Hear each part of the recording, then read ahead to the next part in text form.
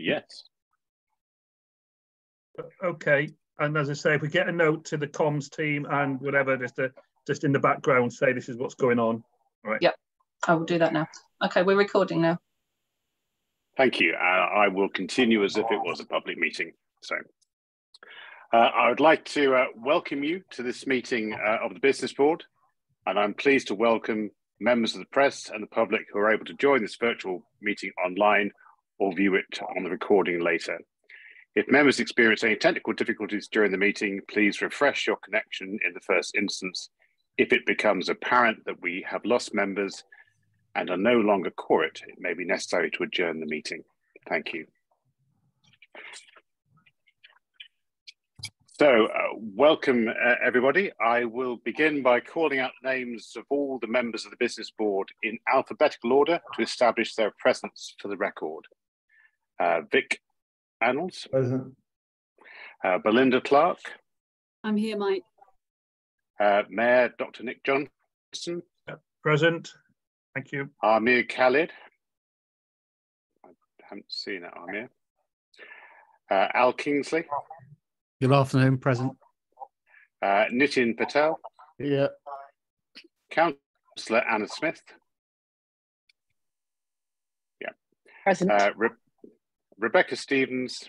Yes, good afternoon. Thank you. Uh, Andy Williams, who I believe is joining late, uh, and myself, Mike Hurd. Uh, could the Democratic Services Officer please report any apologies for absence that have been received? Thank you, Chair. We've had apologies today from Tina Barsby and from Andy Williams. Thank you very much. Uh, this is also an opportunity for uh, any of the members to declare pecuniary interests or any other conflicts of interest. Do any members have any conflicts of interest to declare? Uh, Mike, if possible, I could just declare Chamber of Commerce because there might be some discussions that overlap today. Okay, thank you, Vic. That's uh, duly noted. Good. Uh, anything else? No. Uh, we are asked to approve the minutes of the meeting held on the 15th of May 2023. Can I ask whether any member disagrees with the accuracy of these minutes? Uh, I can see no uh, such indication. Uh, so uh, I see no further objections, so we will take that as carried. Uh, do officers have any further updates to report on the action log? No. No further updates, Chair. Okay. One thing I did notice was uh, on the timeline for potential exits, we obviously have the target date shown is March 2023, so we might need to have a, a new target date for that. Noted, thank you. Good, uh, good. Right, we now move on to uh, item 2.1, which is the Business Board Chair's update. I think the only thing I really wanted to bring up was uh, an update on the appointment of the appointment process for the new chair. So I understand we've had uh, 11 applications and five were interviewed. And today those interviews were having a fireside chat, which I'm sure was uh, warming.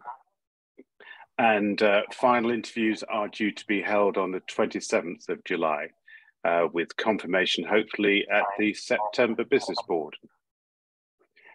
Uh, is there any other information you want to give on that, Don? Or yes, please. Yes, please, Mike. So, um, as you rightly said, so we're aiming to have the final interviews done by the 27th of July. That would mean that we'll hopefully um, be able to appoint by the end of the month. Sorry, there's a bit of an echo. Um, and business board members will be notified through um, urgency procedures to enable us to induct the new chair to take on the chairmanship um, at the September board. Thank you.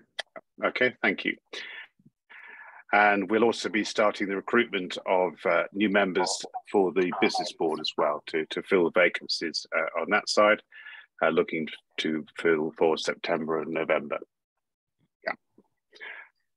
Okay, uh, so I think the other meetings that were going to be reported Michael, sorry to interrupt. Can I just make a note? Obviously, the, the process of, of uh, you know appointing a, a, a business board chair very important. And you know, this it was something that was highlighted at the last board minutes. You know, and one of the reasons that we've had to go through this, and obviously some delay to the process. But I just wanted to put it on record that having highlighted the concerns from the business board, the uh, been delighted by the caliber of people that have come forward.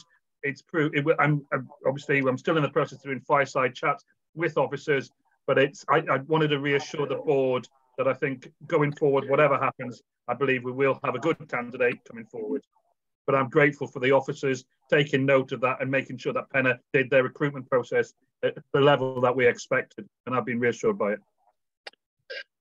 Thank you, Nik. Uh, and Vic, do you wanted to come yeah, in? just to add to that, I was involved in the shortlisting along with a couple of others, and I confirm uh, that we were very pleased with the quality of the candidates that have been put forward by Penna.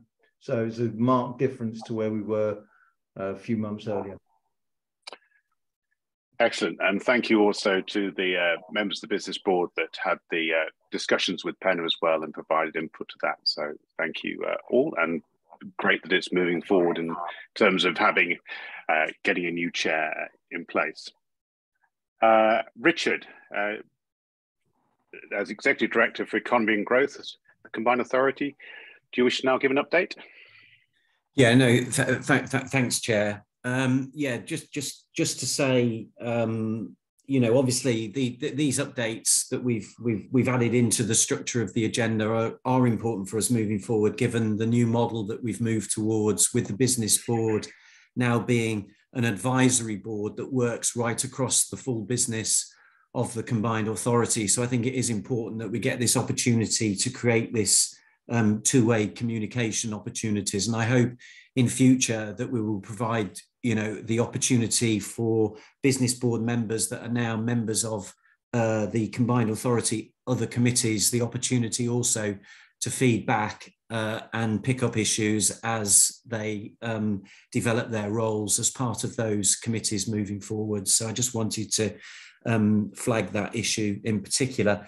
Um, yeah, just to say, in the period uh, since the last uh, board meeting, just to report back, um, just just just to just to raise the issue around. We were talking last time, I think, about deeper devolution, and people will remember that the uh, Chancellor in the spring statement announced the Trailblazer devolution deals. And subsequently, we've been working quite hard to work alongside the M10 to, to extend the rollout of those trail, Trailblazer deals uh, across the other combined authorities, including Cambridgeshire and Peterborough. And it was interesting that at the LGA conference last week, Michael Gove um, confirmed that that was indeed his intention. And as a result of that work, um, since the last board meeting, officers have been working uh, alongside officials with DLUC, uh, with the Department for Transport as well, and uh, the Department for Business and Trade in relation to working through some of those things that, that, that may be important. And I think moving forwards, it will be really good to get the engagement of the business board and business board members uh, as we take forward those opportunities uh, in, in negotiation with government as, the, as that process works through. It's very much a technical process at the moment, but hopefully it will in one way or another lead to the opportunity for some further deeper devolution for the area, which can only be um, a good thing. So that was one thing I wanted to mention. I also wanted to mention that last, uh, just, just the Friday gone, uh, the mayor, who's obviously on this call, um, convened the Rail Summit, which was an excellent bringing together of the uh, other public, private, and voluntary community sectors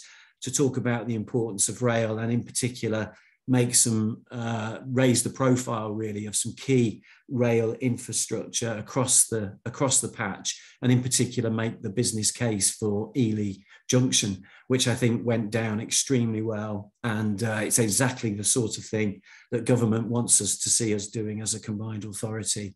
And again it's something that we uh, will want to engage the business board in in terms of uh, making sure that the future of the rail network and the transport priorities reflect uh, the aspirations of the business community moving forwards. There was also the Cambridge South announcement and the ministerial visit for the 200 million uh, full platform uh, South Railway. um, that's taken place, which I think is another great thing that's happened since the last meeting. Um, and we've also uh, now, I think, probably possibly got on this call our new chief executive, Rob Bridge, who has now started with the combined authority, uh, which which now completes the um, corporate management team uh, for the uh, combined authority and is another demonstrator of our improvement moving forwards towards getting uh, a real significant organisation in play. Um, so I just wanted to mention some of those things. Um, there's one or two other things worth mentioning. The, the Growth Hub evaluation report has just come out from government. So that's something that we'll need to pick up. And also the Growth Works evaluation and review report has now been circulated to business board members. And then one final last thing to mention that uh, has been circulated to you all as business board members is the Department for Business and Trade call for large capital projects as part of the UK Global Investment Summit in the autumn. So again, you know, if you can let us know if there are specific um, projects and uh, opportunities that you're pushing forward for in relation to that, then it'd be really good to keep us informed as the Secretariat for the uh, Business Board. And I'll leave it there, Chair. Thank you. Uh, thank you, Richard. Uh, any uh, comments from the floor? Good, uh, thank you. So we now move on to uh, part three. And uh, if I could ask uh, Bruna to present the latest budget and performance report as our finance manager. Hello, nice, nice to see you all. Here we are with our performance and finance management. One second only, I'm here. So just to say, this is a bit of a different report of compared with what you're used to. This is the first report of this financial year, so we're focusing on what is the possibility and what we, our budget and how we're expecting to spend it in this financial year, not how much we have spent to date yet. So one second, I pick up the report again. That it would have been easier if I did it before, sorry. So, here. I thought I did it. The page disappeared. That's not helpful. Very quickly, sorry about that. That's okay. So, um, so this is, as I say, is to note the budget for next financial year. So what the total grant income that we are expecting to receive in next financial year, in this financial year is uh, uh, 3,723 plus a further 375 of, of the deferred income from the previous year. So funds that we were expecting for the LEP core funding that uh, we were being um, withheld from BEIS, now DBT, um, that we are expecting to get in this financial year instead. So we are going to have roughly 4 million pounds worth of grant income that we are expecting to receive this year. Oh, this is a this is 600,000 or so more than what we had available, what we receive from the, from the different funds for the year just finished, the 22-23 years. Um, the uh, important so important things to note is the community renewal fund the crf and the erdf are both being completed by the end of last financial year. And the share prosperity funds will actually start in, in earnest only this financial year. That's one of the reasons why you have yeah, more money coming from that side. Um, as what as, as I mentioned that before, so there is some further income expected from the, the F in ESF just because some of the post, for the delivery was postponed from 22 to 23. In relation to cost related to our revenue, our revenue cost for the year, we are expecting it to be 7 million pounds compared with uh, our previous year of 3.7 million. The 7 million pounds are mostly due to uh, catching up on Growth Co cost. So 4.7 of the 7 million are actually Growth Co cost. And this is, yes, working on uh, catching up on Growth Co activities uh, that they slowly come, come that they start slowly, but they are coming up freaking fast. And a part of it is actually ERDF and and mostly is actually ERDF, but we are expecting to get closer to, you know, to catch up solidly through these. So we are confident that we are going to meet the back, the, the budget that we were expecting. Also, I say that uh, um, we are aware that the, the, performance of the ERDF pro program is being very good to date and actually has been achieved all the job target that is achieved the job target we were expecting to get from this project program. So this side was really positive. So, um, so as I say, uh, at present, we don't have an update on the energy side. In relation to capital, you can see then again, we have 14 million pounds to spend to, in this financial year, seven from this budget and seven uh, slippage from previous one.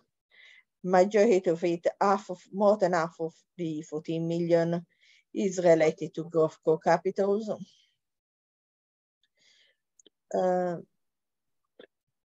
and uh, um, apologies for the noise in came in. Um, yes, and on this one as well, we are catching up. We are still reasonably confident that this is going to happen, but uh, you know, there is Something a lot of work before the end. Sorry, Karim. Just a quick question I was going to ask, uh, Bruna.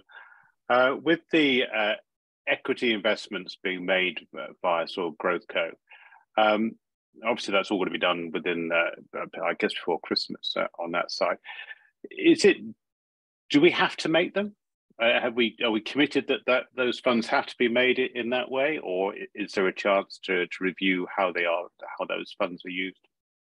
I I think we can definitely we, we um, from my perspective, the important thing is that we use it uh, in the right way. We don't necessarily need to that giving them away if we don't think the uh, the the capital that uh, we will wa want to work on is actually appropriate. Okay, Steve, uh, if it's something worth to do, yes, but yeah. at the same time, it, you know, let's not throw money to something we don't want to. Uh, Steve, did you want to come in on that?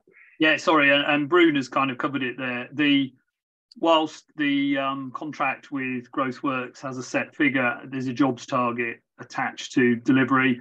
Um, with the service starting late, absolutely. If if if they by the end of the contract there isn't enough investable um, uh, opportunities put forward to the investment panel, there's absolutely no reason to um, invest it all, and that's within our right. That's reserved to the CA and Growth Co. Right, thank you. Al? Just a quick one for Bruna. Obviously, for understandable reason, reasons, there's been quite a lot of slippage between year on original budget. Um, yeah, we, we're putting obviously all that focus on budget for next year. Have we made any assumptions of likely slippage into 24, 25 or deferral of any of our expected investments? If uh, uh, in theory, yes, in for everything else, yes. In relation to uh, GovCo, GrowthWorks activity, no, because the program is expecting to finish by the end of December. So in, in theory, yes, of course, we will have done it. But, and, and this is taking in account other activities that you, I mean, in the specific, I cannot see anything to jump up on the capital side. Uh, but yes, but not, not for GrowthWorks. Okay, so so in terms of in terms of the budget for 23 um, 4 we've made the assumption it would be in year spend at this stage yes but especially for GrowthWorks because the contract will finish in december for other things like for example below there is that market down that i know is not your hair here but anyway we always give you an, an understanding of it.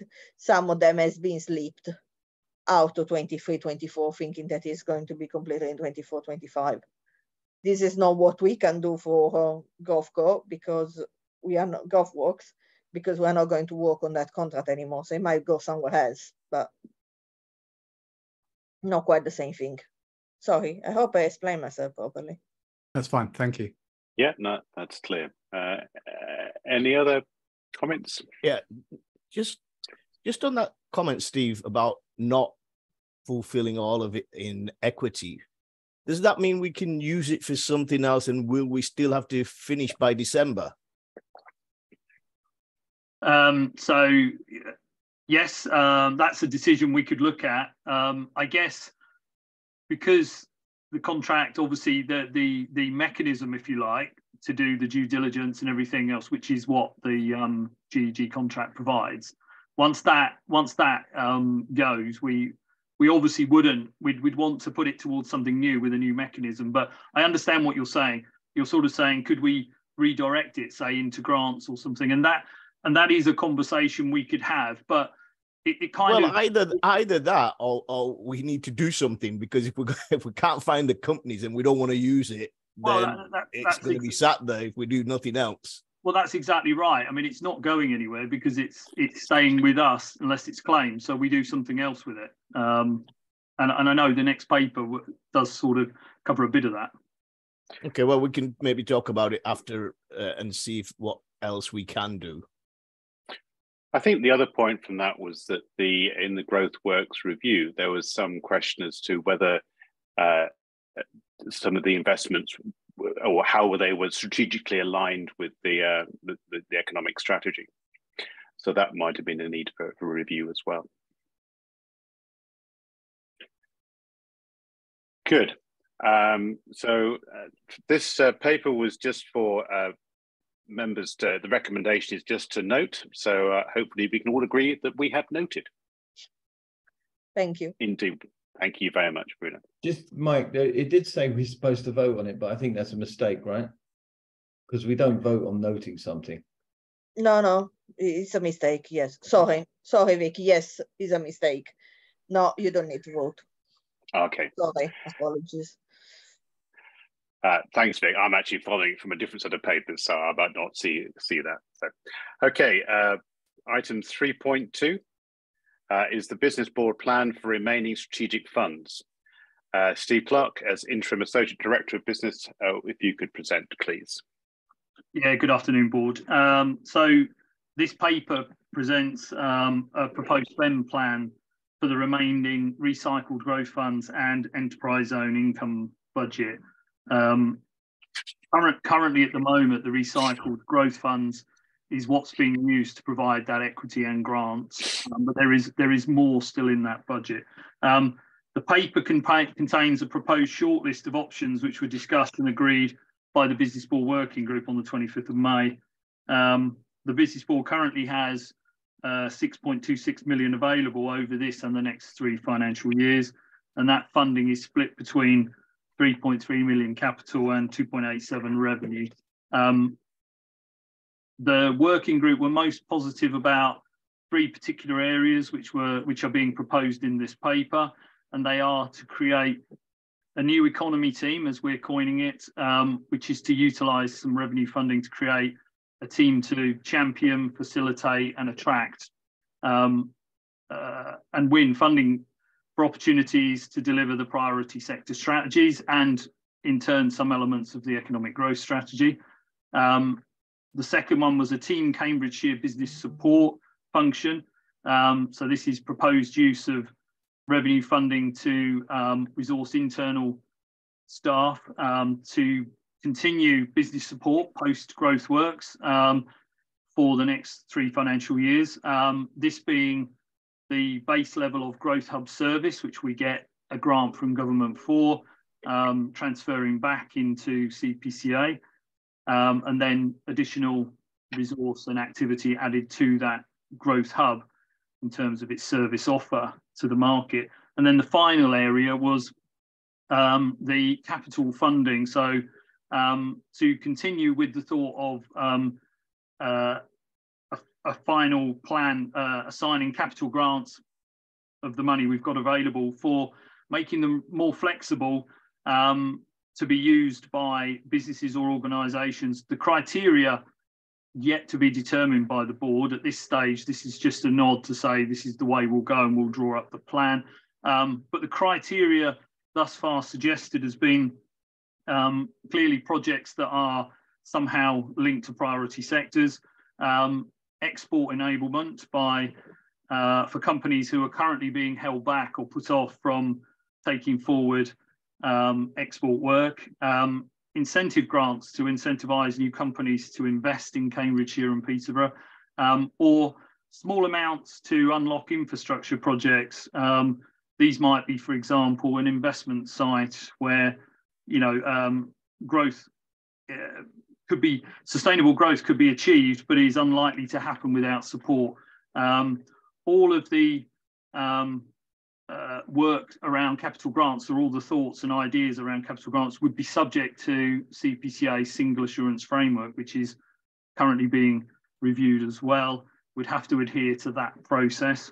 Um, so the actual outline spending plan being proposed here um, suggests um, spending 1.15 million of revenue on that new economy team, 1.719 million of revenue on that team Cambridgeshire business support provision, and the remaining flexible capital grant pot, currently 3.3, could be bigger if some of that capital doesn't get spent um, through Works or beyond that contract and any slippage through this year. So um, that would all go into the same pot.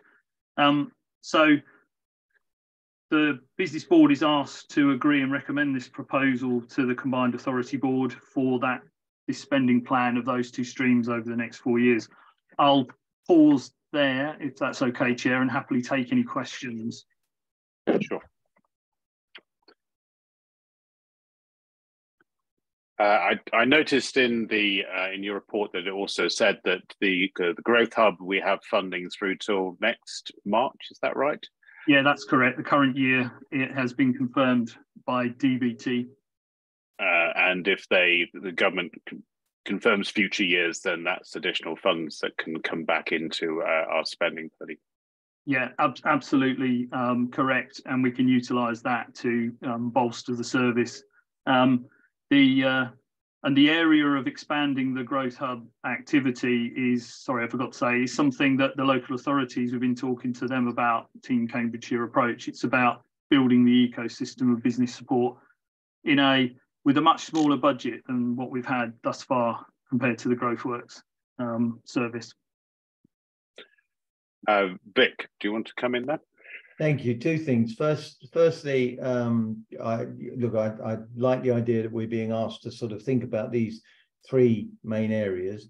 Um, I'd like just to understand a little bit more around the Team Cambridgeshire business support because um, I haven't necessarily seen a lot of collaboration between some of our local authorities of late, and I'd like to see some sort of um, change in the way that they come together to to, to work. And I, I use, for example, the Rural Development Fund, um, and and you know, and I recognise that that might be slightly controversial what I'm saying, but I'm basically in support of it but I want some sort of evidence to say this will be a success. Bringing them together is probably the most important thing we can do, um, because the you know everyone knows businesses don't stop at council boundaries. Um, and then the second part of it, I'll now raise my hand again from a chamber of commerce perspective. I, the, the, you know what export enablement, we have seen such a fall off of the number of companies exporting. It's been um, very very significant, and something needs to be done to get them back um, and that's possibly an overlap with my day-to-day job. So I raise remind you of my conflict of interest in that space. Um, but I'm obviously very interested from a chamber perspective in anything that helps get companies exporting because it's fallen off a cliff. Sorry, and Vic, has he gone? He's still there. Just uh... Uh, Vic, Vic, what are the key things that stops them? Because I suppose you know, if we're going to do something specific, it'd be nice to understand what it is that has really, I mean, paperwork they keep on all saying, but I mean, we should have been able to get over that by now, I hope. But what else stops them? There's all sorts of barriers to to, to trading, not just um, you know, financial barriers. But some countries use their their documentation system as an effective tool. Right. Prevent people being able to come into their marketplaces. So, you know, the the idea. So the reason, sorry, the reason I raised that was because I went to one of the events that the export guys wanted, and he can't can't get them to understand that level though that when they talk about what does export need, it's all about approvals and the nitty gritty of trying to sell those products. And I don't think they have the depth to be able to support that. So if we're going to do something, I think it needs to be specific. I think Nitin, it needs to be multi-layered. You, you, you know, what we need first of all is to make people understand that it is possible still to export, and we need to try and help them find markets they can take their products yeah. to. So first of all, it needs to be much higher level. Um, you know, what is your strategy for Asia, Latin America, you know, and, and trying to educate businesses that there is a possibility to still do business, um, even though it seems to have become more difficult. But the second part of this is then when they do start to do this, is hooking them up with people in those overseas markets that can help them. And then the third part, and this is all, you know, 101 of exporting, is making sure they can complete the paperwork properly because the, the, any small mistake in paperwork can cause enormous amounts of problems with things being held up at customs. Um, but it's also coming back as well, receiving products back in from overseas, customs declarations. It, you know, with the EU especially, it's just got much, much worse than it's ever been, um, despite, of course, Brexit enabling rather than restricting trade. Uh, thanks for that clarification. Uh, Rebecca? Yeah, firstly, just to totally agree with Vic on collaboration, and, and I've got a number of comments which I'll I'll save for the next item on the agenda because I think we're going to talk about that again in a minute. Mm. So my real question was in um, five point something, it says um, approval of the plan would allocate all the available budget for the next four financial years and so limit the business board's ability to react to events within that time horizon. Mm-hmm. And what kind of events would those be that we're limiting ourselves on? So, um, yeah, I mean, it's a bit hard to obviously say what could all the events be. I mean, if you look back over the last two or three years, you can see that there's been quite a tumultuous series of various events. So who knows? Um, you know, there there there could be. Um, I mean, it could go both ways. It's not just negative stuff. There could be something very positive. Suddenly appears that we we would want to react or, or put money towards. Um, uh, I think though a case could be made to the combined authority. Um, I mean, holding some of this money back in the hope or, or in the in case um, i mean the combined authority itself does have some resources and it would be a combined authority res- response to anything that's happening and bear in mind the business board is moving away from being a program board more to a advisory board so actually um, it's hard to know. That could change if government policy changes around um, future LEP type structures and and you know who knows. Um, but yeah, I mean, this is obviously a key implication that you know uh, on the finance side, which is which has been in, and the board need to be comfortable um, about whether to um, not commit all of it or, or, what. The other thing to add, sorry, is enterprise zone receipts, of which we're talking about a three-year window here, does go on for 19 years. So you would have another 16 years of enterprise zone income from which you could ask to draw forward if you needed funds to to do something in a in a you know in a fast or emergency case. And there can always be a danger if everyone holds a contingency. Uh, Al. Yeah, thanks, Mike. Um, yeah, I mean, I'm I'm broadly in support. Uh, one question was around um, the new economy team. I, I suppose from a, a, level of investment that's being proposed there to cover over the next three years, um, the natural challenge would be is how would we identify that as being delivery of additional capacity and not in effect offsetting existing capacity under the umbrella of that that new team yeah i think um, well it's, it's covered in the next paper i think these two papers could have been run into one but um, i think that's clear that when we draw up the um, work plan around that resource that we would need to put in some key targets key milestones of achievement. So whether that's key big things to in support of the devolution to agenda. So create an innovation plan, draw that up. We can see that that's tangible, that's done, that's a milestone, or a trade and investment plan because we do not have an international plan at the moment, whereas many other combined authorities do. Um, but then actually we could assign particular outputs um, against those particular roles. So whether that's um, delivery of a set number of the recommendations in some of those sector strategies, or whether that's delivery of a ta target of outputs. Um, we could look at jobs. We could look at um, things like that. They're a little bit more emotive if some of the things we want to do don't come off in time, you know. Um, but yeah, but no, I think I think in our plan we would be quite clear about what the outputs are that we are hoping to achieve through this. And Steve, just on that, I'm playing slightly playing devil's advocate. I know in the, in the subsequent paper, there's there's a within that category, there's both the the physical um, human resource and also some of the funding towards policy development. Yeah. Uh, and there's a natural question, which is, you know, that's one where we've we've in the past we have spent at times considerably on external advice and guidance, which has a potential to be quite significant. Yeah. So obviously there's a natural which is creating a team. It would be good to have an understanding as to how much of that was about policy and idea development versus how much was actually implementation and, and delivery. I think I would like to say it's mainly about uh, implementation and delivery because that's what we've struggled with doing with those sector strategies. I, I think there's a slight amount of policy potentially, as I mentioned, two things that we don't have. I mean, Richard may have more commentary on that because there's there's obviously things which are going to be incredibly useful when we uh, uh, take forward our relationship with DBT and others as part of devolution. So, yeah. Uh, Richard, do you want to come back?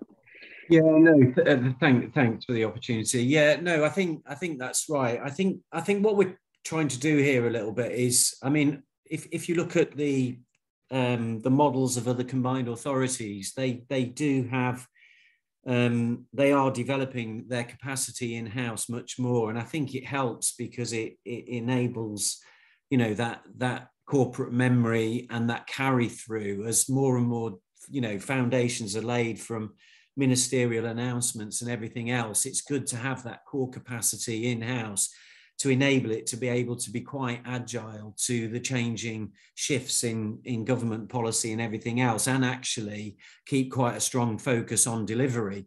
Um, and I think this is kind of where we've, you know, certainly coming from the outside looking in, it felt to me that we had developed some very significant sector strategies on, on, in our area across agri-tech, life sciences, and everything else but actually we hadn't really got the capacity to follow through.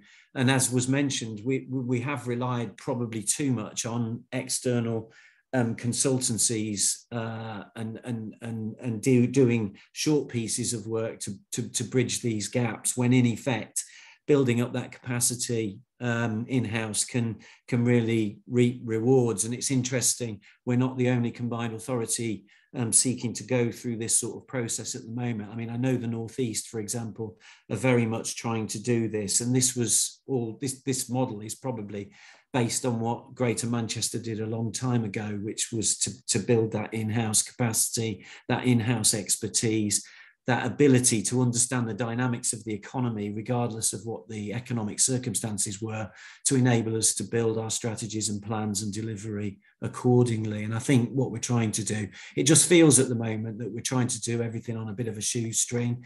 And, and perhaps, you know, things just feel a little bit mm. too to us when we when we get the feedback from things that have been done contractually, it just feels a long way from where we are in terms of the interventions we're actually making. And I'm not really clear that some of that narrative is feeding back into conversations with government and it isn't giving giving the government the confidence that we actually you know are on these things and are doing these things even though we are and i think this in-house capacity will enable us to communicate that much better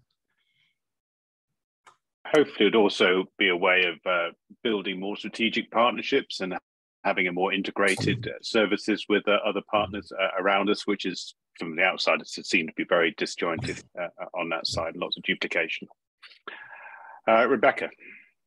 Yeah, I was gonna I was gonna wait, but seeing as we're talking about it now, I I I absolutely agree with the theory behind this. I think what we need to be really really careful of is what happens six months in or a year in or 18 months in and how we monitor it because I think there's a real danger here in us just having another layer of sort of local authority bureaucracy. Or all, all the councils have got their own economic development teams and what we mustn't do is just be another layer uh, doing the same sort of thing um, without actually adding any extra value.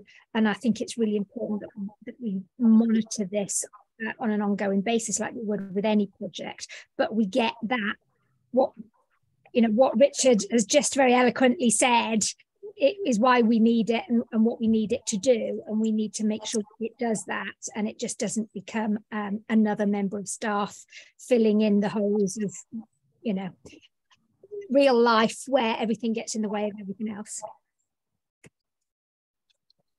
Thank you. Uh, Councillor Smith? Yeah, I, I would agree. I think what we can do, though, very successfully is to be a convener for the economic development officers and to provide them with the opportunity to network across our region. So, Vic referenced that earlier in terms of the importance of working across council boundaries. And I think that's a really powerful role that we have. Uh, Matt? it's funny, Anna. You, you you know my job too well. He's almost stolen my thunder.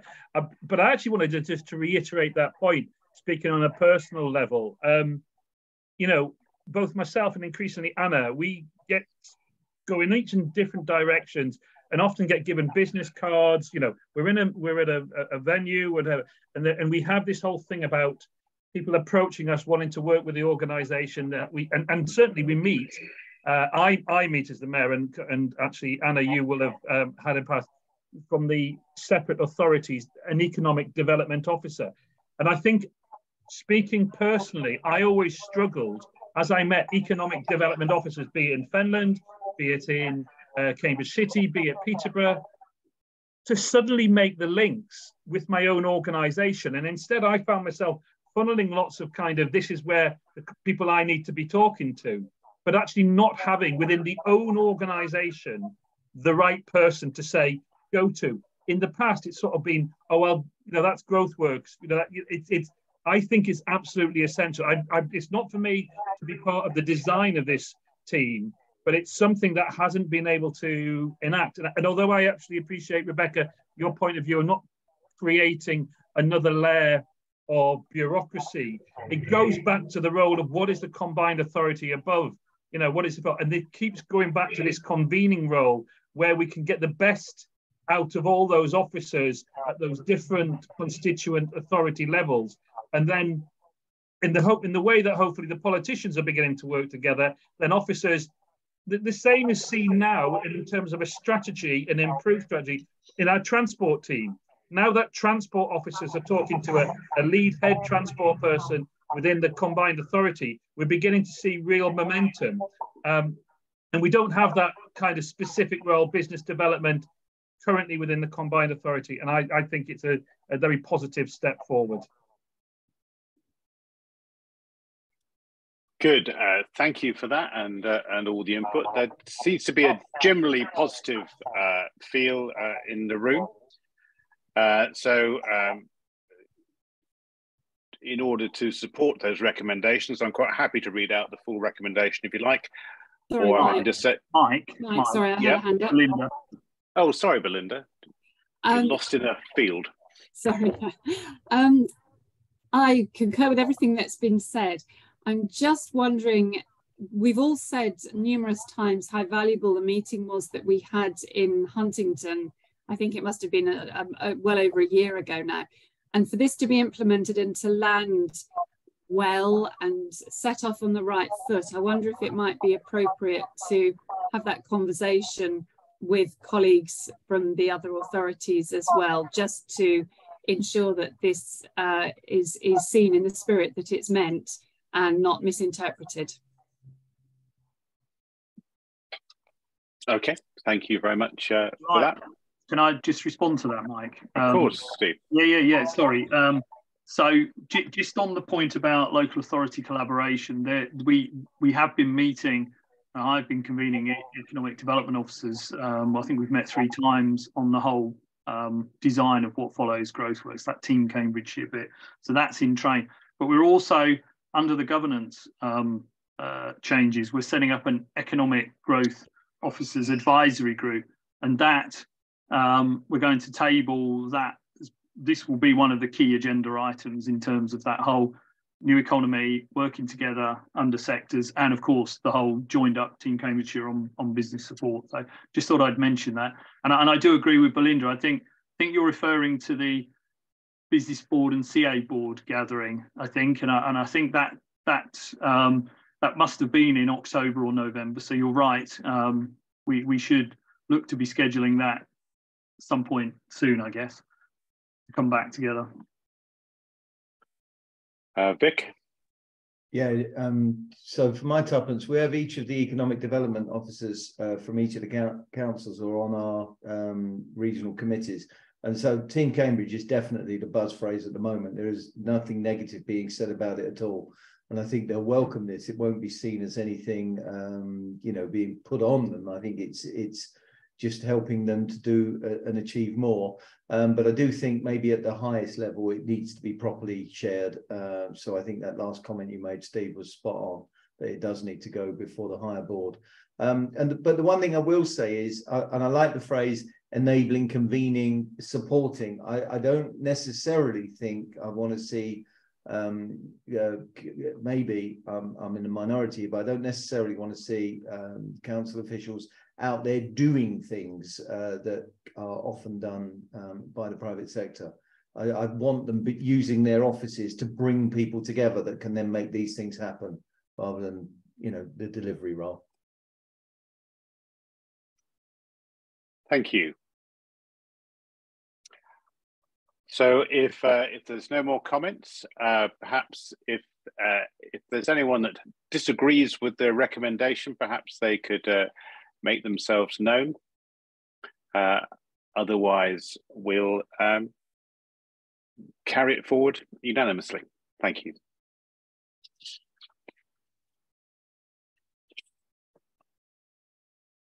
So uh, item uh, 3.3 uh, is the Business Board Priority Sector Strategies. Steve, again, if you could um, present. Yeah, thank you. And, and, of course, we've just discussed quite a lot of this, I think. Um, so, yeah, following from 3.2, um, the board is well aware we have four sector strategies. Um, we currently have an action plan um, for the agri-tech. The other strategies don't necessarily have um, any form of implementation plan. So, um, so to develop and implement or even create an, an action plan, um, there is a requirement for that additional support. Um, obviously, we've already highlighted that the current team do not have the capacity to be able to do a lot of that work to be able to drive through all the various recommendations. So the, this paper um, obviously provides, um, sorry, is proposing to identify the funding to support the recruitment of um, resources to facilitate, coordinate, attract funding and deliver those recommendations. Um, it sort of broadly sets out that we have four economic growth champions, one assigned to every sector, um, essentially a trade and investment um, expert or officer, and then an innovation or potentially doubling up as a business uh, decarbonisation net zero um, officer as well. And then as we've talked about, there's scope to obviously use some of the fundings to provide some admin support and other tools that we might need to, to get this delivered. The budgets that it's proposed to be taken from is the Recycled Growth Fund, so half a million, so 500,000 over the, this and the, for, three years, um, and enterprise zone income 650,000. Um, the, the current proposal here would be to deliver um, following, so developing a job specification for those roles, recruit and embed the resources, produce those implementation plans for the sectors, um, develop an overall work plan that includes all those outputs and outcomes as part of a new economy team, um, work out and target the modes and me methods, detail how we would achieve delivery of those plans. So whether that's through devolution, whether that's through bidding, or whether that's through convening the private sector, um, and then work with particular business board members as champions of those sectors, and also work with sector bodies and private sector um, in delivery of that. Um, develop propositions, uh, particularly around inward investment, and obviously provide regular updates to the business board and combined authority, provide advice and, and guidance as required. Um, so as we've sort of set out, having the expert resources um, will give us the opportunity to focus on those recommendations in, in each of those strategies um, and ultimately aid to the delivery of the combined authority economic growth strategy. Um, and as I've already mentioned, one of the key things I think would be a good signal is the alignment of these resources is good preparation for delivery of a second devolution deal. And I'll stop there as we've already talked about it quite a bit and take happily take any further questions. Uh, something I was going to mention, Steve, was uh, obviously with the uh, business board members uh, adding to those uh, those sector committees, that sort of thing, is quite key to get the business board recruitment right to to regain that sort of balance uh, on the board to have that sort of sector knowledge. Uh, so presumably that, that that comes in over the next uh, few months, but. Yeah. Uh, uh, it's it's important to use the, our current board membership to encourage others to to apply for that and to identify potential candidates uh, on that side. Yeah, absolutely agree. Uh, any, any further sort of uh, comments uh, from this? Obviously, there's a lot of detail to uh, develop, uh, but the, the key recommendations are to really get that sort of uh, understanding on the budget and have that to go up to the main CPCA board. Um, okay, again, are there any objections to the, the recommendations? Uh, if not, uh, we will take them forward and carry this unanimously. Thank you very much. Uh, and on to item 3.4, which is the uh, SPF Rural England Prosperity Fund implementation.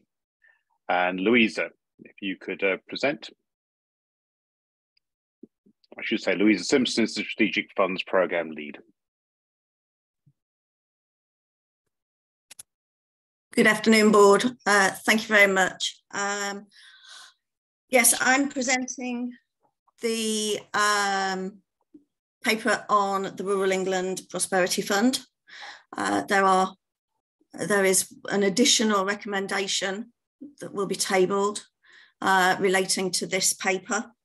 Um, the um, the board will be aware that the Shared Prosperity Fund was approved um, and we are mobilising uh, our implementation plan. Um, in December last year, we submitted an addendum to our Shared Prosperity Fund, which was for the Rural England Prosperity Fund, which is a DEFRA um, pot of money that has been allocated to rural districts uh, within the combined authority. So four districts have access to these funds those being East Cambs, Fenland, South Cambs, and Huntingdonshire. Um, the allocation was uh, 3.2 million uh, shared between those three districts um, on a, a, allocation that was worked out by DEFRA on businesses and population. Uh, so it wasn't necessarily um, that the rural areas, for example, Fenland received this, the highest amount of funding, they actually received the lowest amount of funding because of the way the allocation worked. Um, we haven't had to, the addendum was approved by the leaders in each district as per uh, DLUHC's guidance. Um, and so the addendum has not been to the Combined Authority Board for um, approval. It was, it was approved by those four districts who received funding. Uh, so as part of this paper, we're looking for a recommendation from the business board to um, authorize to um, approve the uh, approval of the uh, addendum, plus the proposal around delegated authority to allow us to effectively manage the uh, programme of works across the four districts. Um, and also as uh, lead authority to take an overarching um, view of the submissions. The grants, uh, the, the program itself is predominantly grants um, to be issued on um, an application basis. So each of the districts will advertise the scheme, um, take applications, run the usual due diligence that we we would expect um, any grant applicant to go through. Um, and we are asking for um, authority to um, ratify those decisions that are made by each of the districts and that payments will be made via the combined authority. It should be noted that there is no administration um, support uh, with this fund. So the districts would be um, uh, supporting the grant applications and the application process and the payments um, from their SPF pot of administration, which is very small. Uh, so we propose to um, manage the financial allocation uh, of the grants uh, through the combined authority, uh, making it a simpler process for the districts. Um, the, there are three projects um, that we are asking the business board to note. Uh, which have been proposed by East Cambs and uh, two by South Cambs. East Cambs are looking to support uh, their Littleport project, um, which was part of their Levelling Up Fund bid, which wasn't successful. Uh, they have resubmitted to us a proposal that only 550,000 is spent on Littleport and the remaining is allocated to grants for rural businesses. And South Cambs have um, requested to allocate a small proportion of their um, of their rural um, fund to to community projects, uh, community gardens, and uh, rural business support. Uh, the uh, paper outlines how uh, we will manage the fund and how we'll move forward in terms of delivery. Are there any questions? Thank you, Louisa. Um, do the districts need any help in sort of coordinating their uh, review of grants or, or, that type of thing? Or is that something that they can do together? Or? The districts have um, we we've worked with the districts quite closely on this. We've worked we've worked quite hard with the economic development officers. Uh, our initial proposal was for um, one panel to look at all proposals that came in on the rural fund. Um, but this wasn't wasn't taken forward by the districts what we've proposed is that we would sit on each of their panels, that there would be a representative from the combined authority who would assist on each of those panels and support those panels. Uh, in terms of the um, due diligence and the checks that they'll need to do on those applications, the districts have said they're happy to carry those out themselves. Okay, thank you. Uh, Matt? Are you on mute, I think? Just starting now. Uh, Louisa, thank you yes. for that. This, in some ways, is, is a very positive uh, development. Uh, and I know I've had the benefit of your uh, presentation. Oh, well, you know, we spoke before this at the end of last week.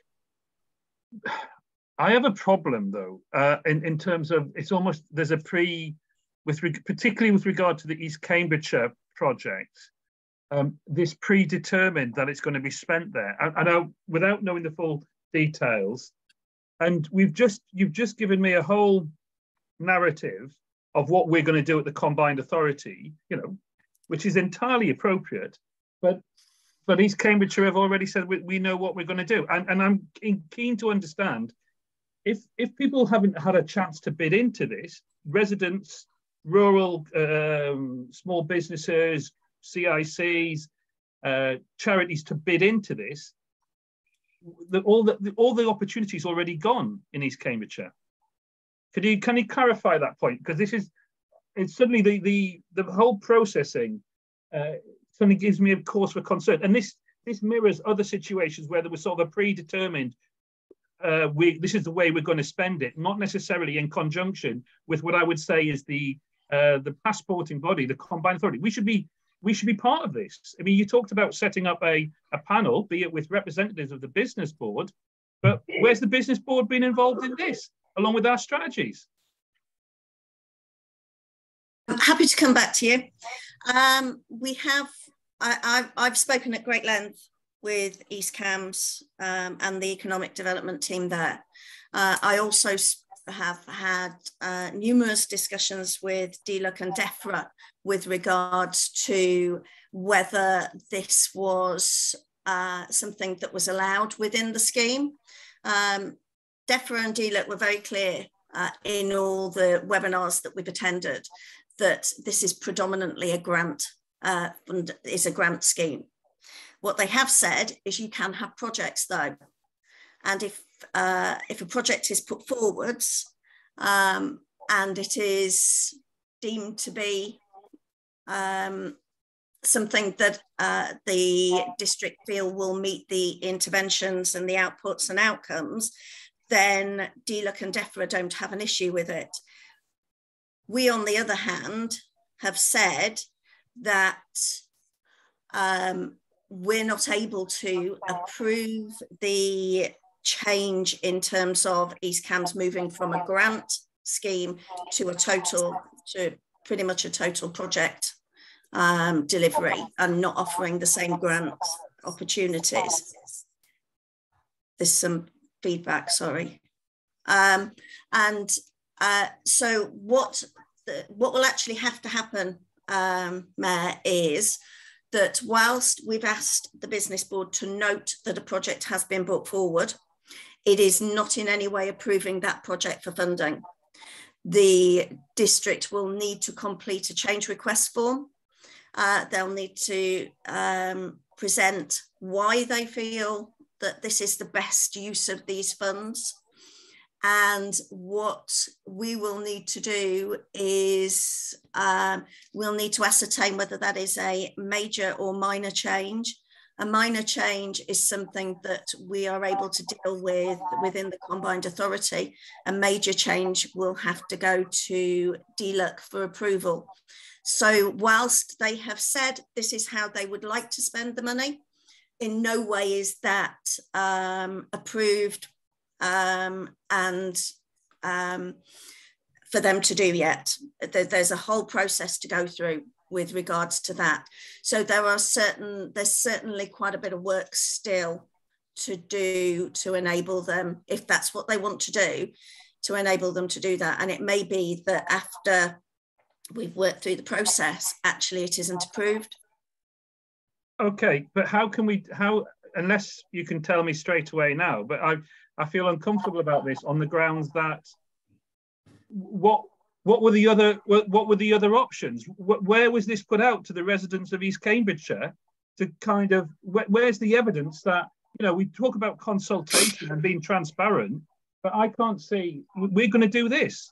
Now you could argue that democratic mandate, you know, as the leadership of the East Cambridgeshire says that allows us to do it, but I thought these processes were for people to bid into you know, and I can't see even before we've actually given the go ahead that people have had an you know, businesses in East Cambridgeshire, residents in East Cambridgeshire, where have they had an opportunity to bid into this uh, fund?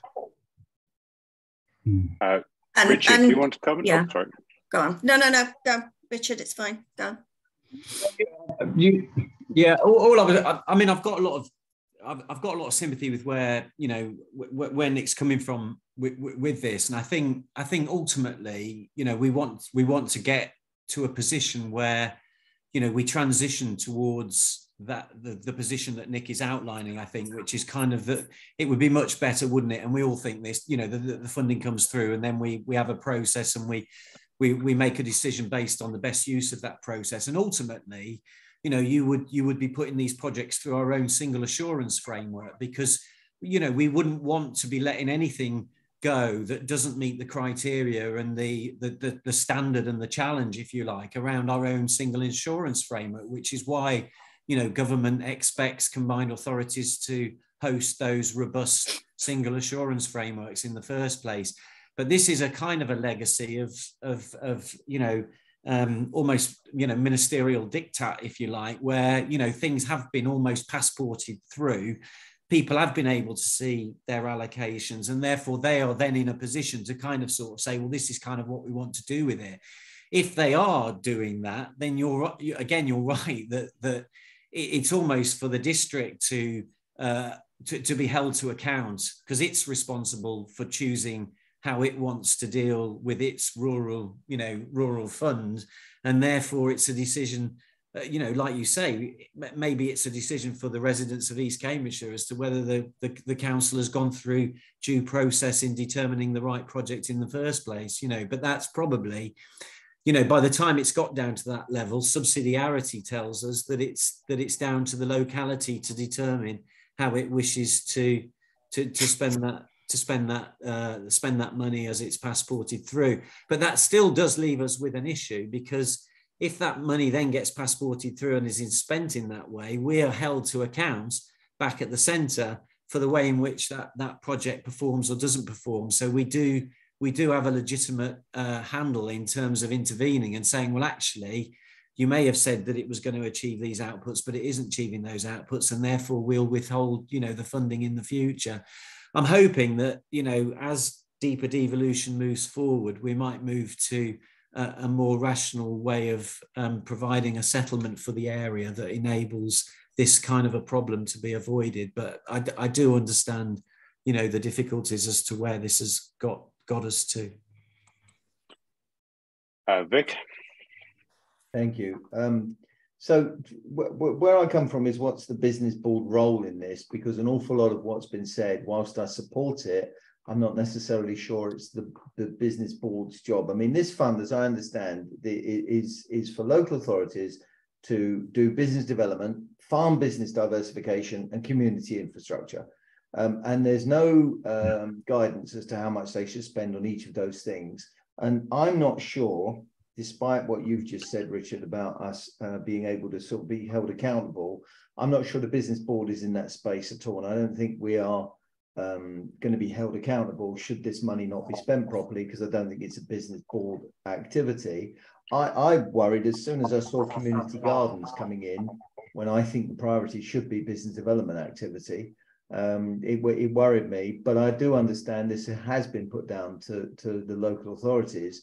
But that was where my earlier comment came from, wanting to see more of this team Cambridgeshire.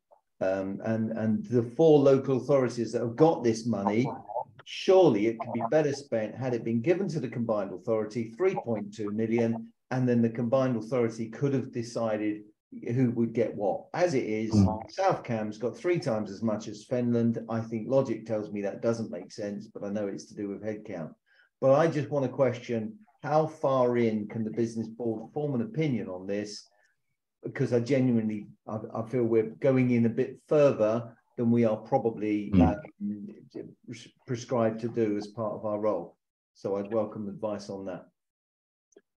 So as I understand it, we're we're not being asked to uh, approve uh, any of the projects, uh, though I guess we can uh, minute a uh, uh, Uh, concerns uh, uh, over it from that side, and that the recommendations that we've been asked to approve are all about delegating authority within this, the CPCA main board. So I think that's right, Louisa. Yes, yeah, that's correct so to, to, to, a certain extent, it seems like we're just passing something through, uh, and uh, because it has to be passed through us, but, uh, but we don't have to pass that through without noting an objection. I, I, guess is true. Can I clarify then? We're not being asked to approve the Littleport funding or the no. No, no, no, not at all. It's it's literally to note that those projects have been proposed, um, and uh, what I think it's it's enabled me to gain is a bit of a feel for where people are, for where uh, the business board are and the business board members are in terms of those particular projects and in particular it, the um, Littleport project. But actually, none of those projects will be approved until they've gone through a change request process. So there'll be an additional process that they'll need to go through and they may not get approved. We don't know. They'll, you know, that's where our role as lead authority sits to ensure that um, those decisions are made with the right information um, uh, and sort of fit with the uh, ethos of the fund itself. Mm. Sorry, Steve. Oh, well, I was, I, I, was just going to add, I, I, think actually there's a separate thing for us to do here to engage with East Cambridgeshire on this particular project. I'm aware of it because I'm aware of their levelling up fund bid that was unsuccessful last time round. Um, I think there's a separate parallel engagement needs to happen from our officers' side and maybe from the members' side about what this Littleport project, what can be done to support it other than using this rural money, because clearly it's something that East Cambridgeshire want to do, and so there's, you know, what else? What else can we look at? I talked earlier in the other paper about a flexible grant scheme that unlocks particular sites or something like that. Maybe there's a separate conversation to be had um, about this. And of course, who knows whether there's a levelling up round three on the horizon as well. Uh, Nik? It's yeah, yes. it feels like I'm always following people who speak speak a lot of sense before me. It's Steve. Thank you for that. It's just to kind of reiterate the point that the reason I raised this was the idea of spending all my time trying to get the sort of cohesiveness and and, and, and very public recognition of officers at combined authority working with uh, officers in the constituent authorities, and indeed, Steve, as you say, members, you know, you know, representatives, you know, because I, you know, ultimately how we spend this money and making sure it gets spent is I, I will get challenged on, you know, because that, or indeed the combined authority will get challenged on. But, you know, we also need to have a, a, a buy-in that, you know, the aspirations that are in different areas, and there will be different expectations depending literally on the rurality, but how that then links in with what we're trying to achieve together, be it in this case East Cambridgeshire and District on the combined authority. So um, it, this is more a plea to kind of ensure that we're, we're doing it as a collaboration and making sure that we're aligned along the right lines uh, than, a, than a criticism per se of any project. Um, I mean, having had the chance to kind of express that in the public domain, obviously, uh, you know, come back to Louisa and help you get a steer on a, on a personal level, but also I appreciate other board members have made some very good points and submissions to this discussion. Um, it feels that, we, we, that there's a room there for us to go forward together and just make sure we deliver, yeah, and, I guess justify what the role is for business in the local area and indeed the business board be it a small scale, as kind of Vic alluded to, or is that actually to enhance it for the better delivery? Thank you. Uh, I guess there's also that wider view as, as to how the combined authority deals with fragmentation of funding, uh, which the, the SPF is certainly doing uh, across not every region uh, in, in, that sense, and how that gets tied back to economic strategies and making sure that businesses, for example, in one area say, well, why aren't we getting rural grants when they're getting rural grants and, and, and those sorts of aspects uh, on that. Uh, are we uh, comfortable with, with, with, noting the, uh, our, the board members' uh, comments uh, in the minutes and passing that through to the interim chair when they attend the CPCA board meeting? Is that appropriate? Uh, and to uh, see if there are any uh, objections from, from members for the uh, the recommendation recommendations one to three, and there is a recommendation five, which uh, I don't think you you may have seen. Uh, so I'll read that out. as the accountable body, the combined authority shall ratify all grant funding decisions made by the four district authority panels which shall include a combined authority officer with regards to rural England prosperity funds and that all payments will be respectively paid by the combined authority to successful grant applicants on receipt of valid evidence of payments being made and checks being completed by the district authorities. So that is the the, the fifth point and, and fourth uh, point to be recommendation to be recommended rec recommended get your words straight uh, so do i have any objections to those uh, recommendations, which again are just on the principle of the, the process, not the projects themselves. Good, uh, thank you. That can be therefore carried unanimously.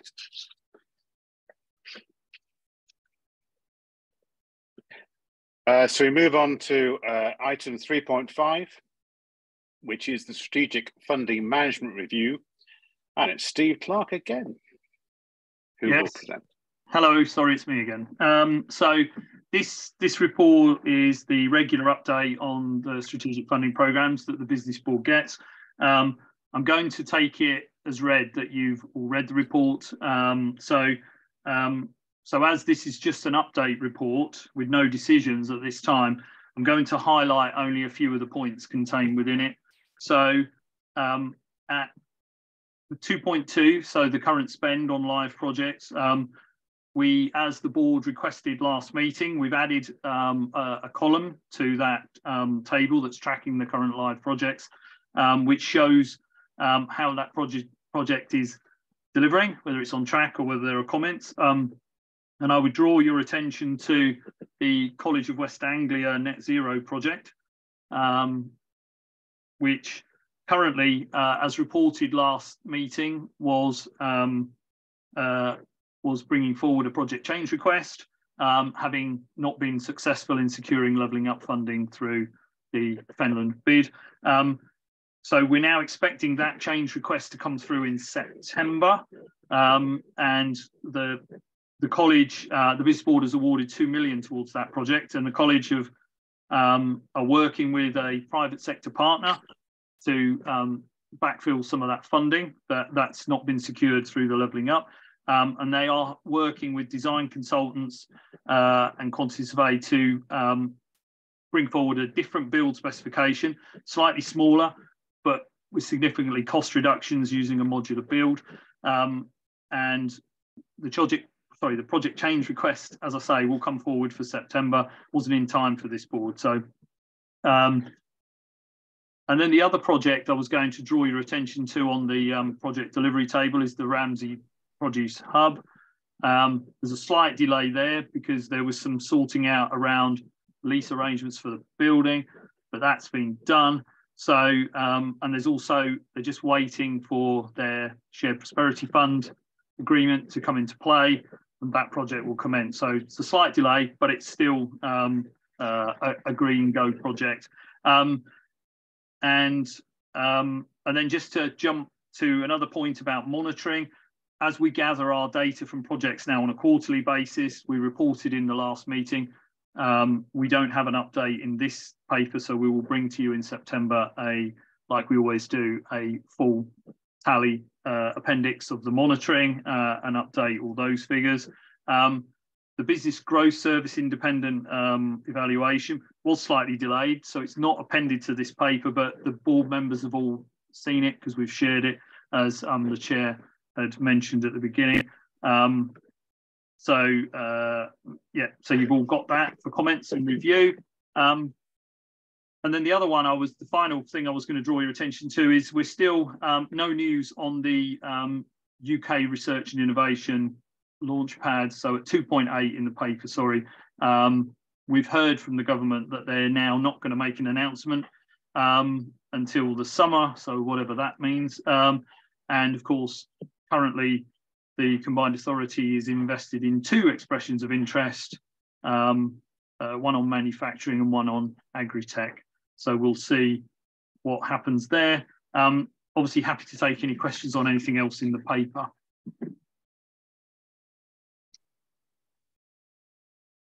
Uh, one from me. I was just wondering in terms of the, uh, can you say something about the Create Growth Fund and uh, how that's being sort of uh, managed and pushed forward?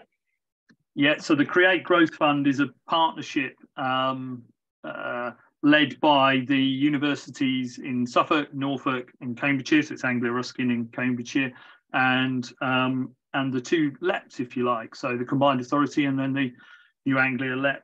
Um, this was a combined bid we put in. This is to help um, uh, creative businesses um, through cohorts of creative businesses go through a developing and um, preparing so they process so they can make applications for funding to funding uh, to central funding from government or to other types of funding. So um, it's being delivered in cohorts in the various locations.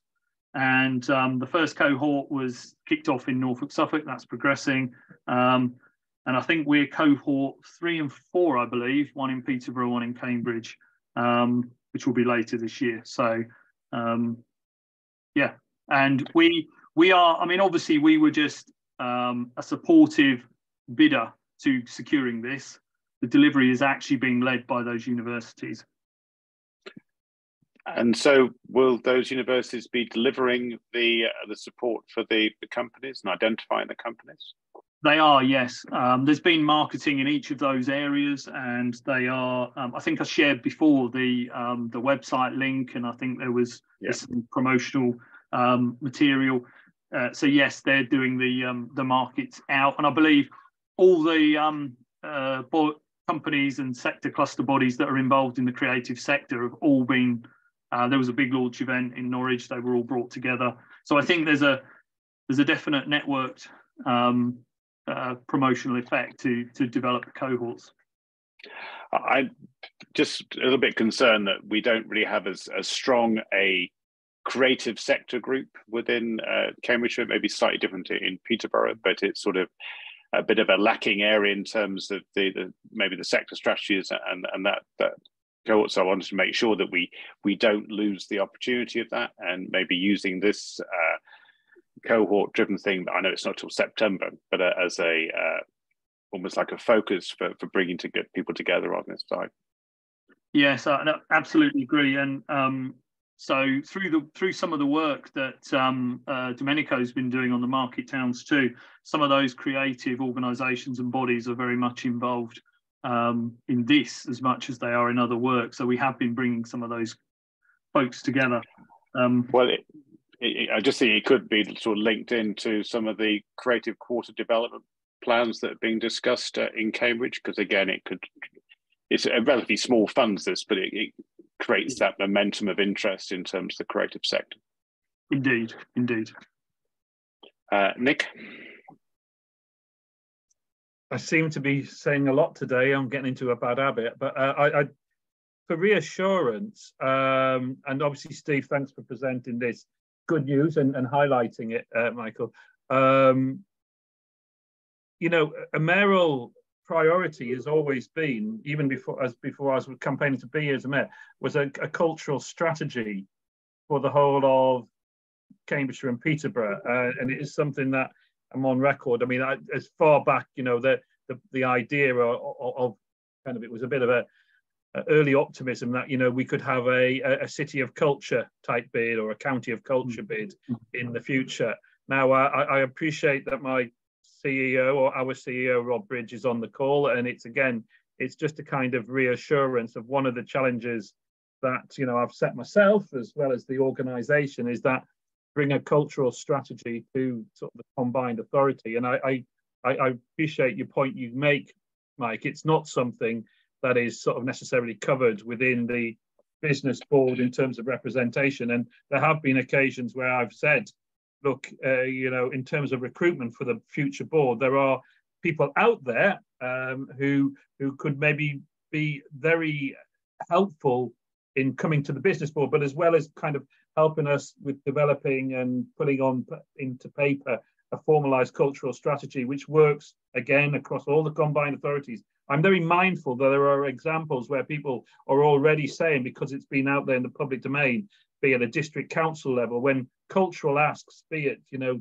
speaking to, you know, national bodies, you know, Heritage England, you know, we could be doing a lot more pulling these things together. So uh, I, I, can see a lot of nods of approval, but it's just to kind of reiterate, it's certainly something I feel very strongly about.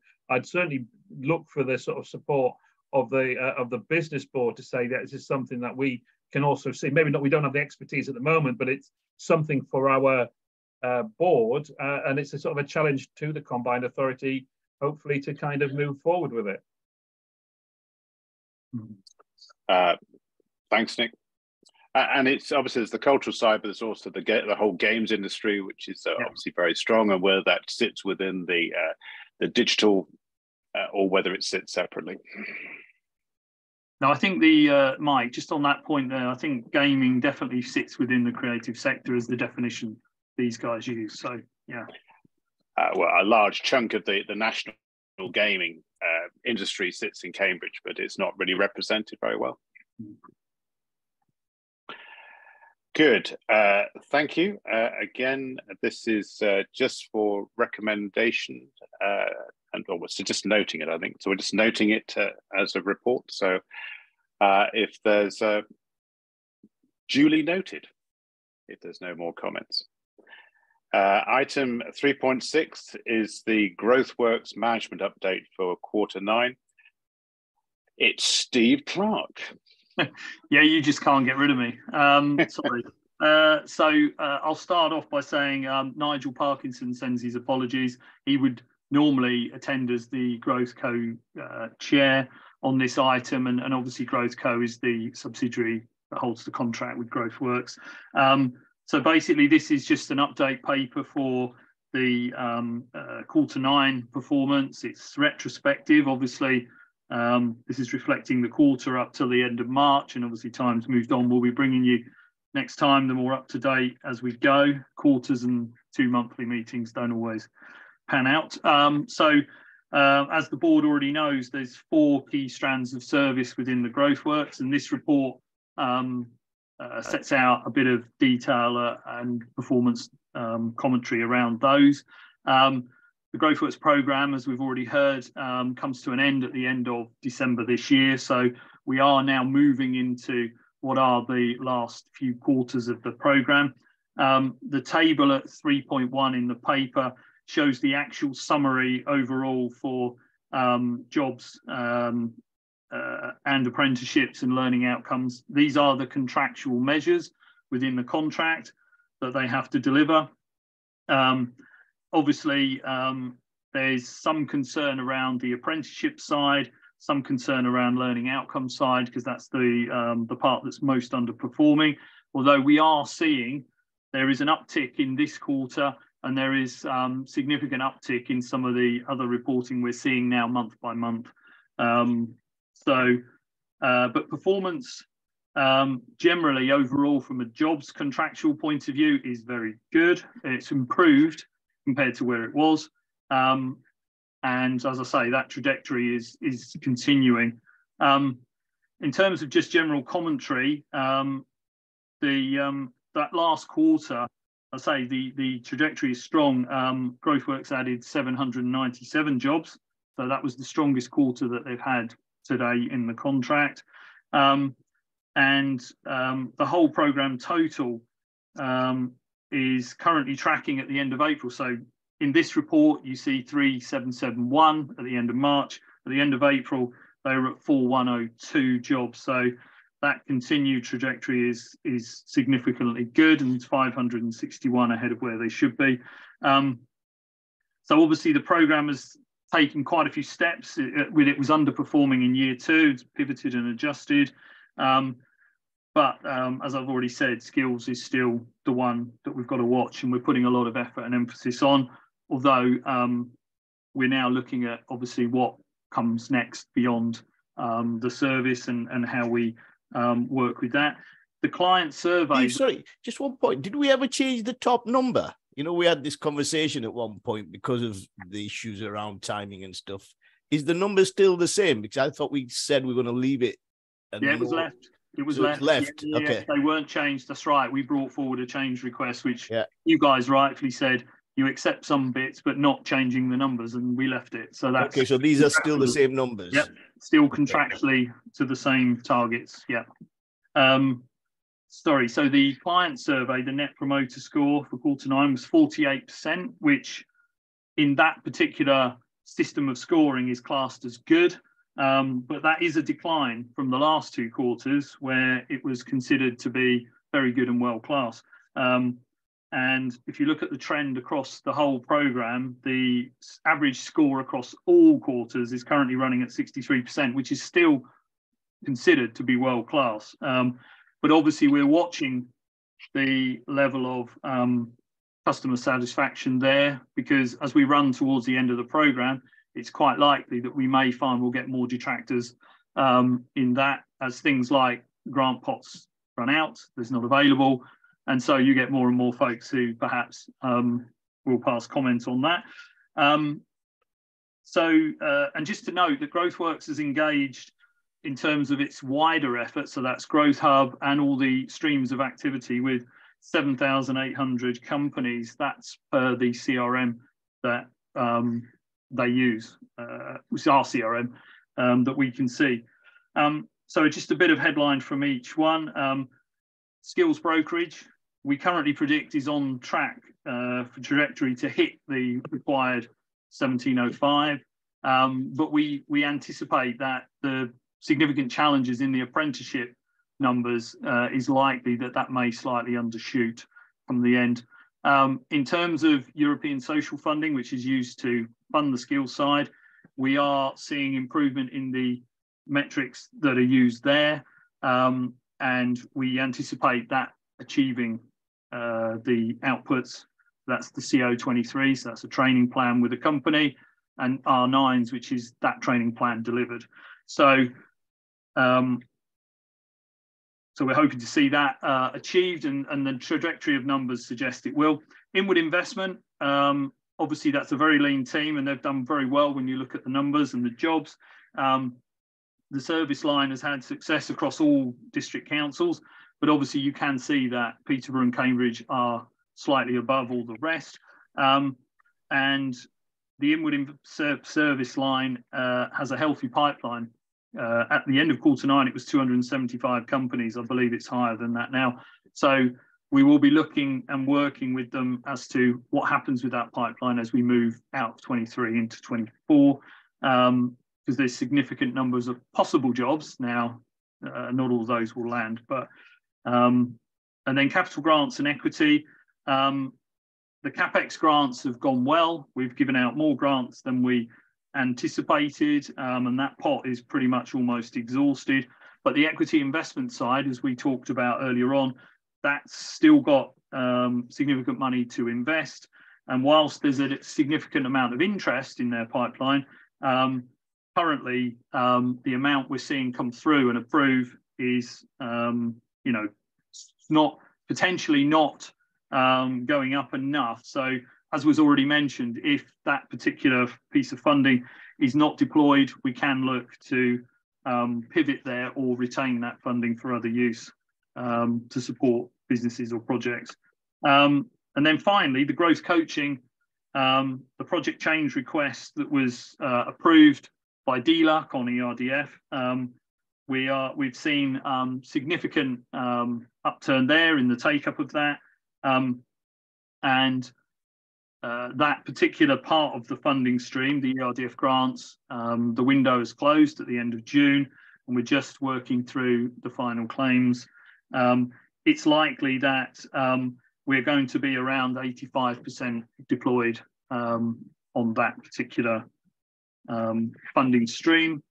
Um, and also similarly, um, like the other um, service lines, growth coaching had 110 growthing coaching completions. So businesses completing a coaching journey, a coaching plan, um, which again was the strongest month for that service line um, to date in any of the quarters.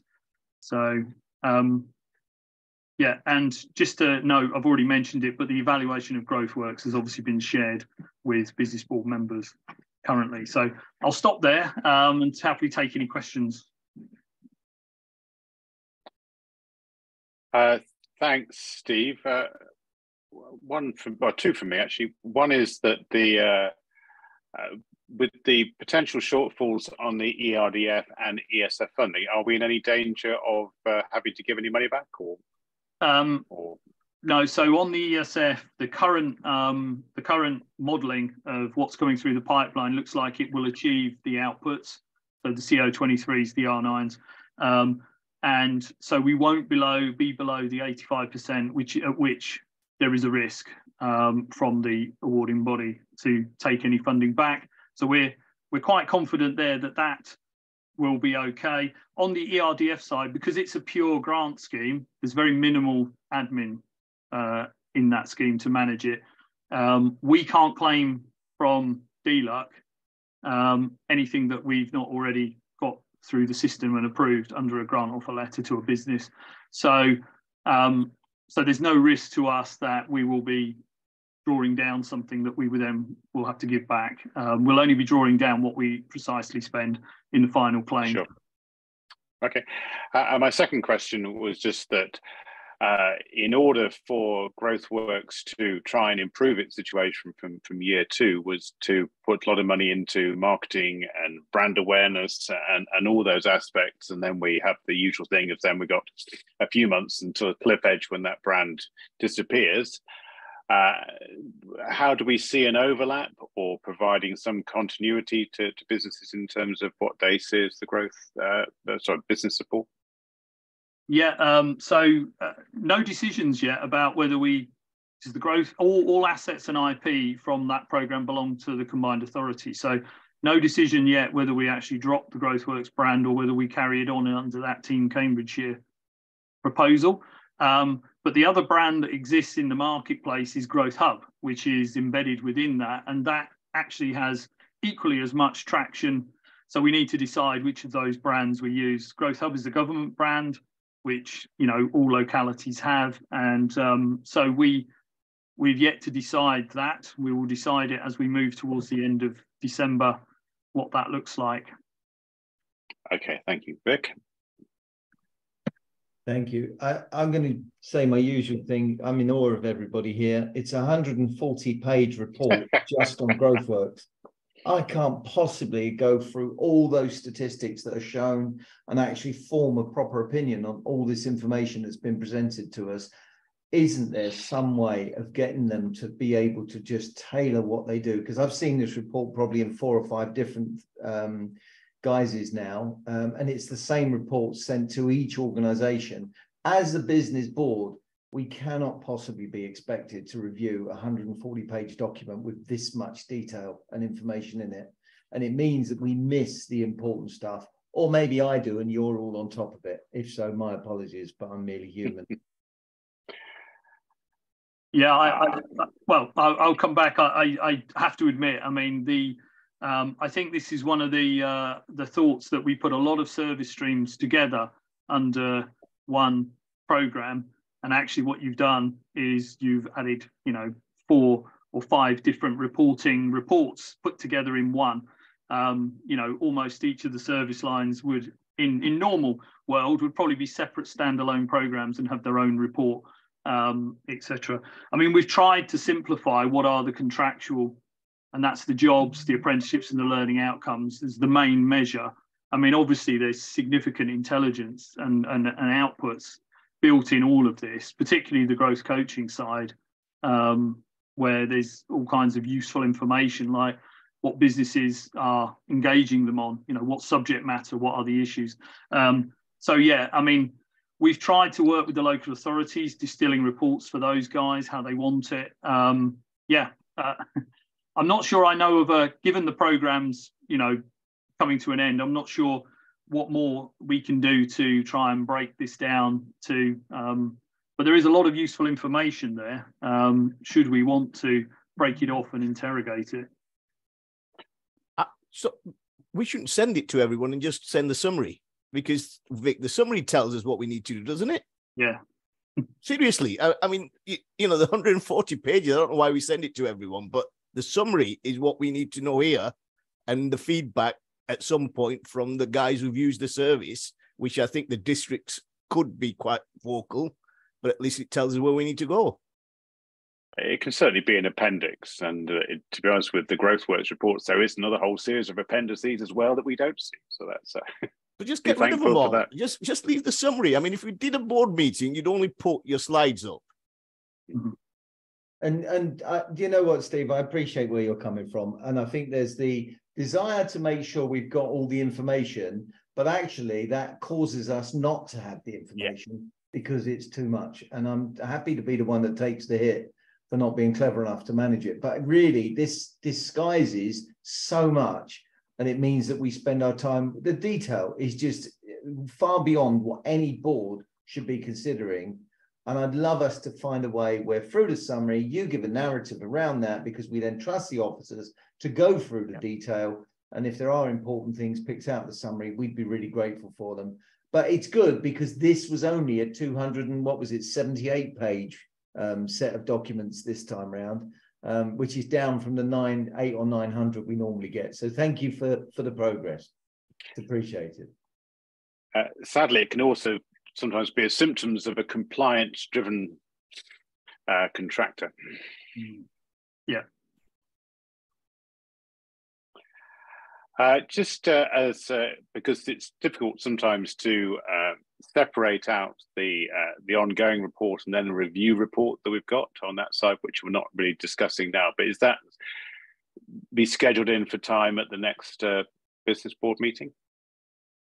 Yeah, I was I was going to suggest we do it at one of your informal board meetings because we haven't necessarily made that report public, um, and obviously it's for us to digest what the evaluation says about the program and potentially commentary about the contractor's performance and everything else. So I, was going to suggest that um, if the board feel they would want it brought back and discussed in in the public meeting, we can do that too.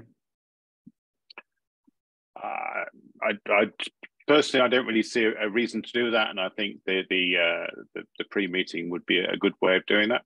Uh, though there were some really good uh, economic indicators in there, which I mm. uh, was less familiar with, which I think could be useful to be drawn out at some point. Uh, good. So again, this this uh, vast amount of information was just for note, or for those that did note it. And uh, I'm happy to sort of move on to uh, part four. I'm because Fliss kept quiet during that, and I, I, I was looking for the little hand to come up on that side. So, if we move to, to item 4.1, which is the Employment and Skills Strategy Implementation Plan, I'm delighted to welcome Fliss Miller, the Assistant Director of Skills. Brilliant, thank you, Chair, and also good afternoon, Board. I can't work out if I'm the finale as the last substantive item or, or pull the short straw. Um, anyway, I just wanted to update you as a board on the uh, progress on the implementation of the employment and skills strategy that was uh, approved unanimously by the Combined Authority Board some 18 months ago um, back in January 2022. Um, the, the strategy also came to the business board and you'll probably be familiar that we had four um, key themes or four pillars, which were in relation to pre-work learning and formal education, employer access to talent, life-wide and lifelong learning, and also, also support into and between work. So this update is not based on KPIs and metrics. That is something that we're looking to um, pull together um, once a year. This is really just showing progress and you'll be able to see in both the, the appendices on actions that have been taken um, as outlined both in the strategy and also implementation plan. So there are a number of um, actions that were identified, um, short-term priorities, but also some longer change projects. Within the body of the paper, you'll see some of the big achievements that we've taken forward and within this academic year, I'm a skills person, so speak in academic terms rather than financial years. We've seen the opening of the campus for ARU Peterborough and also the North Cambridgeshire Training Centre. We secured um, lots more funding in terms of revenue for the Multiply programme, which is based around numeracy and also skills boot camps for Wave 4 um, we've actually seen bucking of the trend and we've seen more enrolments for the adult education budget against um, national average. Um, we've also seen success for implementation of the Community Renewal Fund Turning Point project and that has informed um, our UK SPF projects going forward as well.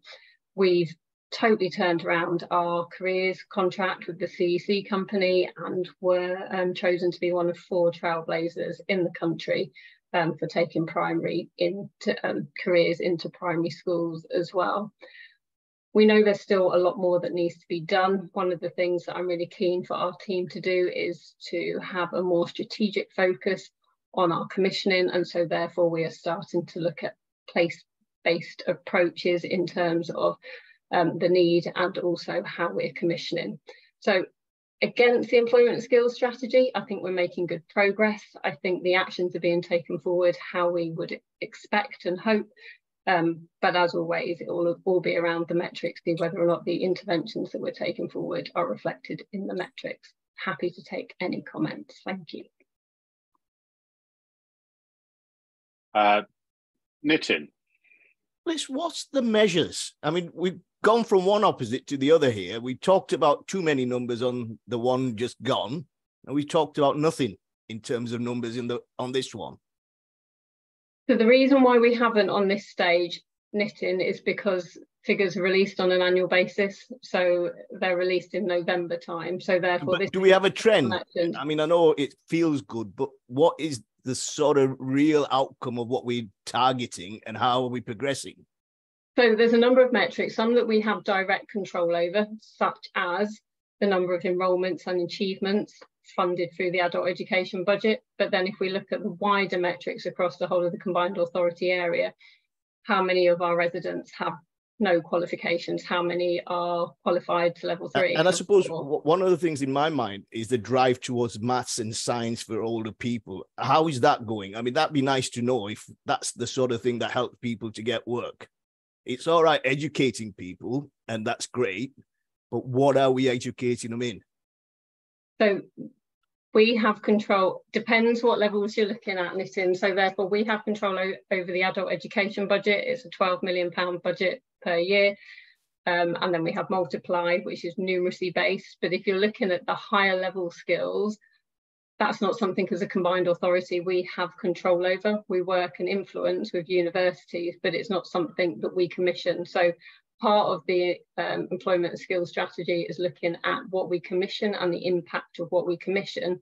And part of it is looking at how we, as a system leader in the skills space, engaging, engages with a number of our different partners and how we can make sure we make the best use of our funding. So therefore, we're working with public health, with DWP, working alongside the universities, trying to make sure as a system we're using the funds that we have uh, in the most effective way.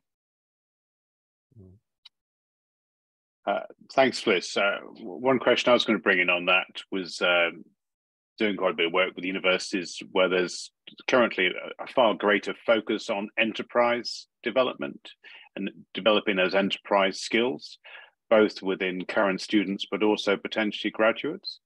Is that something that potentially doesn't sit within your commissioning, but does that potentially sort of align with the uh, the objectives? Yeah, I think so because one of the things, and, and as Vic will will say as well, that we've been doing as part of the work for the local skills improvement plan is 70% of our businesses in Cambridge and Peterborough are, are, micro businesses. And so therefore it's something that we need to make sure that people don't just fall into, but also train to take take that forward. So yeah, that's something that we're acutely aware of. Uh, and the second point I was going to make was something that uh, I know both you and I sort of uh, had a good go at GrowthWorks for in the early days was that lack of crossover and cross referral of uh, when you're talking to one company on the business support side of the coaching side where you can see skills uh, opportunities as well. Uh, how do you see that being integrated under a internal team led business support? It's a good question. Um, it's something that Steve and I need to work on. So now that we have those four new posts, I think that's one of the things that we need to make sure that we're joining up the work on that because in each of the sector strategies, there is a skills section. Within that, we've also done uh, undertaken more research into the skills required and future skills requirements as well. So it's something that we need to make sure that it's a holistic um, focus, I guess, in, in when taking things forward. So it's certainly work that we need to undertake as, as that team grows.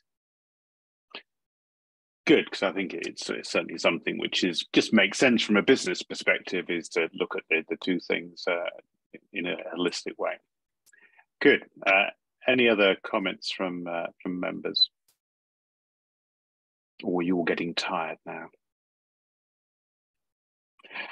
Good. Well, thank you very much, Fliss. Uh, again, this is a recommendation uh, to to note, so uh, we appreciate the report, and that is uh, noted. Um, and uh, you were the headline act. I think that's the way we described it, the last one on, on that side. So um, but item five is for uh, the business board headlines to the combined authority board, and I'm not quite sure what to put in there. So I, I will to a certain extent rely on uh, our, our, officers to uh, to bring together the, the key points uh, from the that have been covered from the, the minutes from, from the, the board today. Uh, I think there's been some very constructive discussions and some valued input in, in all the areas, but uh, certainly from, from my side, particular interest in terms of how things are going in terms of some of the funding aspects and the um, the the way in which the, the business support is being uh, realigned. Uh, looking at it from that side, it will be good for the uh, headline to be in terms of the progress towards appointing a, a new chair, uh, and also some of the areas that, that Richard uh, brought in, and the, uh, the I think the general refocusing of the business board towards being in a more advisory capacity uh, for the combined authority and not just the sort of program board, that type of thing. So I think those, to me, were some of the uh, headlines, not necessarily in policy, but just the fact in which the, the way the business board members are interacting with the officers within this environment. I think that's the way it's coming across uh, uh to me. Uh, the, the last item is the business board forward plan which seems to go to about 2040. I think it seemed to go a long way forward. It was uh, very good on that side. So I just wondered if any members have comments uh, on the uh, the forward plan.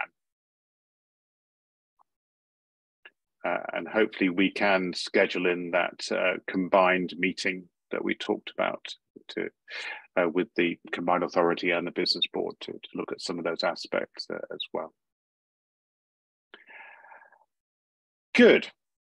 Uh, I think that that concludes uh, our business uh, for this afternoon. Uh, I, I thank you kindly and also appreciate all the input uh, from you. And I think that was a very valuable session.